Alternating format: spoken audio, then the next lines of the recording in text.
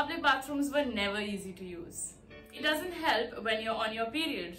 And इस सब के ऊपर अब एक नई मुसीबत अब आ गया है हमारे जीवन में कोरोना वायरस यानी कि कोविड हाय मेरा नाम है डॉक्टर तनिया और मैं आज बात करने वाली हूँ पीरियड पार्ट के इस एपिसोड में कि कोरोना वायरस के टाइम मेंस्ट्रुएटर्स को बाथरूम किस तरह से सेफली यूज़ करना चाहिए बाथरूम का दरवाज़ा। बाथरूम के दरवाजे पे जो हैंडल लगा हुआ है। नल का जो फॉसेट होता है, उसके नॉब्स ये सर्फिसेज ऐसी होती हैं जिन्हें लोग बार बार छूते हैं। इसलिए इन सर्फिसेज को छूने के बाद प्लीज़ अपना हैंड सैनिटाइज करें और उस हैंड को अपने मुँह पे ना रगड़ें, अपने मुँह के पास ना लेके जाएँ। So make sure you are sanitising your hands after you touch all of these surfaces and make sure you sanitise these surfaces before you touch them आप एक छोटा सा स्प्रे बॉटल में सैनिटाइजर लेके जा सकते हैं और इसे पस पस पस पस करके स्प्रे कर दीजिए, दरवाजे पे उसको छूने से पहले प्लीज़ सैनिटाइजर को इवेपोरेट होने का इंतज़ार करें, क्योंकि अगर आप अपने वजाइना के अंदर, अगर आप मेंस्ट्रुअल कप अपना बदलना चाह रहे हैं और आपने वजाइना में बड़े अच्छे से सैनिटाइजर लगा दिया तो इसकी वजह से भी इरिटेशन और इन्फेक्शन जैसी प्रॉब्लम्स हो सकती किस तरह से आपको अपने पीरियड प्रोडक्ट्स बाथरूम में चेंज करने चाहिए? अगर आप पैड यूज़ कर रहे हैं तो ये सबसे लो रिस्क पीरियड प्रोडक्ट है। For using a public bathroom corona virus के टाइम पे. ऐसा इसलिए है क्योंकि पैड्स टच करने में आप अपने वजाइना या वल्वा को डायरेक्टली कहीं से नहीं टच कर रहे हैं। अगर आप मेंस्ट्रुअल कप यूज़ करना चाहते हैं तो remember before you put your hands inside to take your cup out आप अपने हाथ को सैनिटाइज करें कप को एम्प्टी करें। अगर आपके पास फैसिलिटी है, उस कप को धोने की तो उससे धो लीजिए। काफ़ी सारे पब्लिक बाथरूम्स में ऐसी फैसिलिटी नहीं होती है।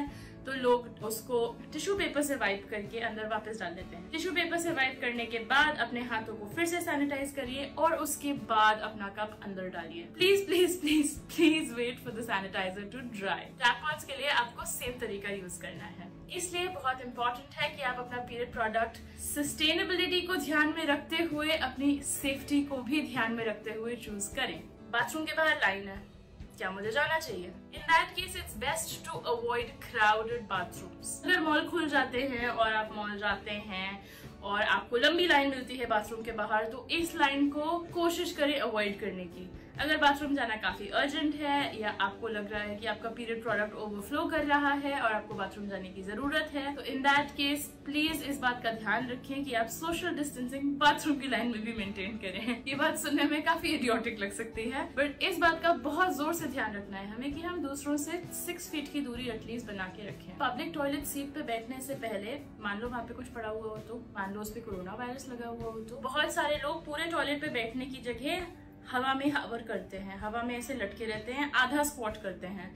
काफ़ी सारे लोग इंडियन स्टाइल टॉयलेट की तरह कोमोड पे पैर ऊपर रख के बैठ जाते हैं। ये सब करना अवॉइड करें क्योंकि अगर ऐसी सिचुएशन में आप गिरने लगे तो आपको सारे बाथरूम की दीवारें छूनी पड़ेगी स्पाइडरमैन बनना पड़ेगा। इसकी वजह से आप जितना कोरोना को अवॉइड करने की कोशिश कर रहे हैं, जितना आप हाई टच सर्फेसिस को अवॉइड करने की कोशिश कर रहे हैं, वो सब जाएगा भाड़ में। इसलिए बेस्ट है कि आप अगर आपको इस बात की चिंता सताती है तो आप एक टॉयलेट सीट सैनिटाइजर स्प्रे ले लें। आप अपनी टॉयलेट सीट को सैनिटाइज कर लें उस पर बैठने से पहले। और ऑफ़ कोर्स सैनिटाइजर लेके जाइए। Once you are done doing your business you sanitise your hands and this way you not endangering yourself की अगर लुढ़क पुड़क गए तो कोई दिक्कत नहीं होगी। हैंड ड्रायर ना इस्तेमाल करें।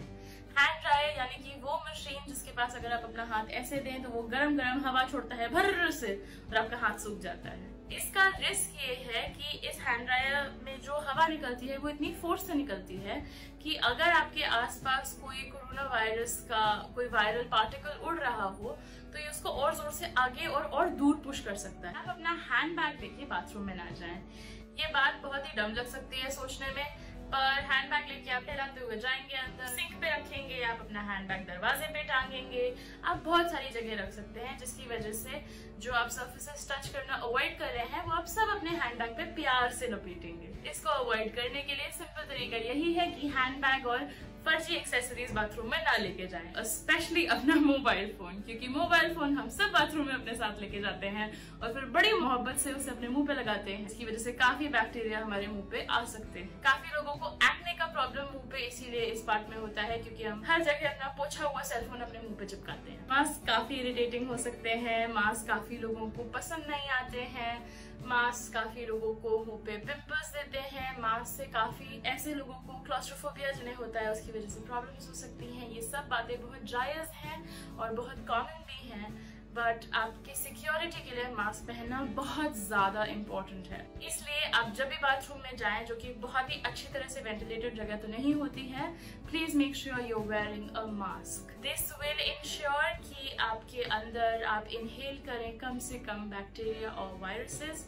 and this will keep you safe एक बात जो बहुत सारे लोग रियलाइज़ नहीं करते हैं, वो फ्लश चलाने में एक बड़ी प्रॉब्लम होती है। फ्लश चलाने के साथ जो सबसे बड़ी प्रॉब्लम एसोसिएटेड है, वो ये है कि जब आप फ्लश चलाते हैं अपने टॉयलेट का, अपने शानदार टॉयलेट का ढक्कन खोल के तो फ्लश की वजह से कुछ एरोसोल्स रिलीज़ होते हैं। यानी कि जब आप फ्लश चलाते हैं तो उसकी वजह से जो पानी छलकता है, उसमें छोटी छोटी ड्रॉपलेट्स भी उड़ सकती हैं हवा में। इस वजह से अपने बाथरूम के बगल में खड़े होके ऐसे झाँक के देखा ना करें कभी, क्योंकि वो एयरसोल्स आपके ऊपर सेटल करती हैं आपके बालों में जा सकती हैं, और इस तरह से बहुत सारे वायरसेस और बैक्टीरिया हम ट्रांसमिट कर सकते हैं। इस चीज़ को अवॉइड करने के लिए आपको क्या करना है कि every time you use the toilet and you flush आप उसका ढक्कन नीचे कर दें। ढक्कन नीचे करने से एरोसोल्स हवा में नहीं उड़ेंगे। काफ़ी सारे पुप के सैंपल्स में से कोविड को एक्सट्रैक्ट किया गया है। इटली के सीवेज सिस्टम्स में से कोविड निकला है। इसका मतलब कि हम अपने पुप में कोरोना निकालते हैं। अगर हमारे अंदर इसका इन्फेक्शन हो। So the best way to avoid it is to make sure you shut the lid when you do flush the toilet at this point it's very important कि हम रिकग्नाइज करें कि हमारे जो बेनिफिट्स हैं बाथरूम जाने के they are far far more than skipping the bathroom because of the risk कि काफ़ी तरह से हम इन रिस्क को अवॉइड कर सकते हैं। बट अगर आप बाथरूम नहीं गए तो आपको यूटीआई का रिस्क हो सकता है। अगर आपने अपना पीरियड प्रोडक्ट चेंज नहीं किया, जैसे कि अगर आपने टैम्पॉन पहना है तो you can have complication with things like toxic shock syndrome basically जो हमारे बेनिफिट्स हैं that out the risk now ऐसा तो है नहीं कि you can you know go to the bathroom जैसे हम पहले जाया करते थे। We have to take certain precautions that can protect us but यही कीवर्ड है यहाँ पे कि दैट कैन प्रोटेक्ट अस ज़रूरी नहीं है कि इनसे हमें 100% प्रोटेक्शन मिले। बाथरूम जाना आप मत अवॉइड करिए सिंपली बिकॉज़ कोविड का डर है। आपकी मेंस्ट्रुअल हेल्थ और आपकी रिप्रोडक्टिव हेल्थ काफ़ी इंपॉर्टेंट होती है। जितनी ही आपकी लंग हेल्थ और आपकी अदर हेल्थ है पूरी बॉडी में।